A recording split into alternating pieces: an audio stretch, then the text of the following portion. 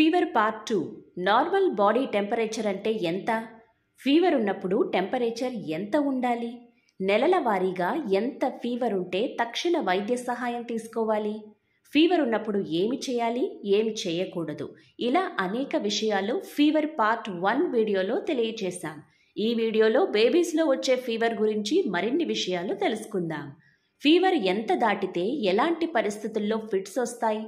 ఆరు నెలల వయసు మొదలు మూడేళ్ళ వరకు లేదా ఆరు సంవత్సరాల వరకు కూడా ఫీవర్ వలన ఫిట్స్ వచ్చే అవకాశం ఉంది. వీటినే ఫిబ్రైల్ సీజర్స్ అంటారు. ఫిట్స్ వస్తే ఎంత డ్యూరేషన్ వరకు ఉంటాయి? ప్రతి ఫిట్ కొన్ని సెకండ్లు మొదలు ఐదు నిమిషాల వరకు ఉండవచ్చు. ఫిట్స్ వచ్చి తగ్గాక కొంత మగతగా ఉంటుంది. కానీ అత్యధిక శాతం కేసుల్లో ఫిట్స్ రెండు నుంచి మూడు నిమిషాలు ఉండవచ్చు. అరుదైన కేసుల్లో పదిహేను నిమిషాలు కూడా ఉండవచ్చు. ఫిట్స్ ఎందుకు వస్తాయి?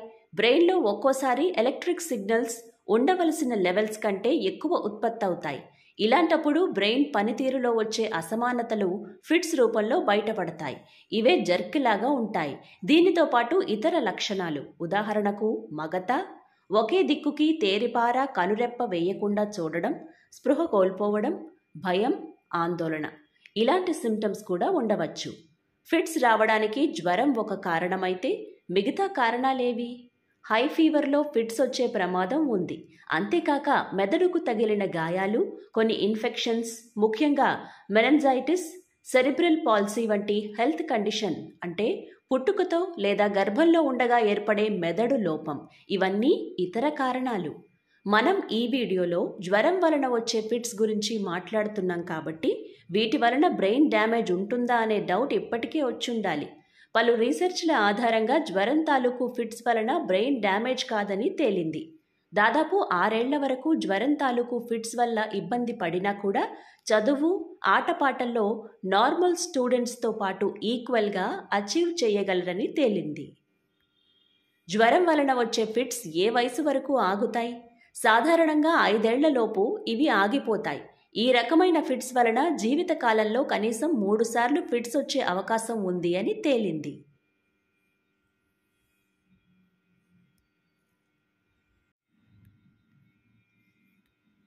జ్వర తాలూకు ఫిట్స్ వచ్చినప్పుడు కనిపించే లక్షణాలేవి?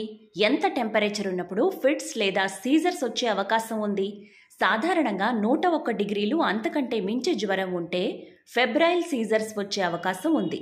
అందుకే జ్వరం ఉన్నప్పుడు శరీర ఉష్ణోగ్రతని మానిటర్ చేసి దానిని నియంత్రించడం తప్పనిసరి.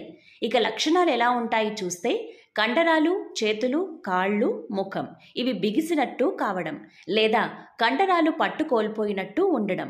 శరీరం రెండు సైడ్స్ ఒక రిధంలో జర్క్స్ రావడం లేదా ఒకవైపు మాత్రమే స్టిఫ్నెస్ లేదా పట్టు కోల్పోయినట్టు ఉండడం.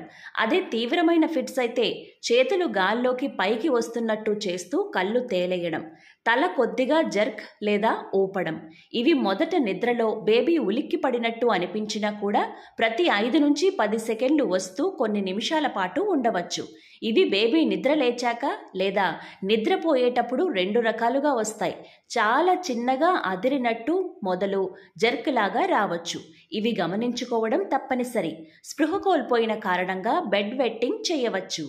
జ్వరం తాలూకు ఫిట్స్ వచ్చినప్పుడు చేయవలసిన చెయ్యకూడని పనులు ఏవి? చెయ్యకూడనివి. బేబీని తడపకూడదు. జ్వరం ఉంది కదా. శరీరం చల్లబరచడానికి ఇలా చేస్తే మంచిదని ఐడియా రావచ్చు. కానీ ఇలా చెయ్యకూడదు.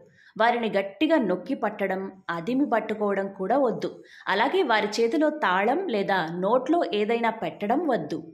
ఐదు నిమిషాల కంటే ఎక్కువసేపు ఉంటే ఎమర్జెన్సీగా పరిగణించాలి. చేయదగిన పనులు.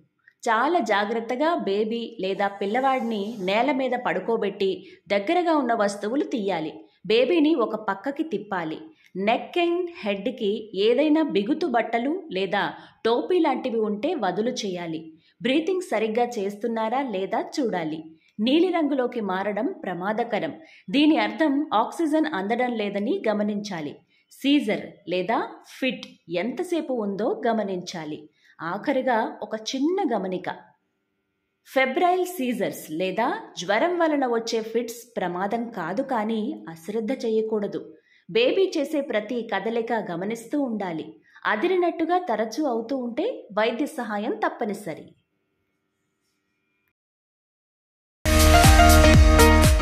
ప్రెగ్నెన్సీపై ఏ టు జెడ్ ఇన్ఫర్మేషన్ కోసం pregnancy and child care exclusive channel HMB లివ్ని subscribe చేసి పక్కనే ఉన్న బెల్ సింబల్ని ప్రెస్ చేయండి so that you don't miss any of our videos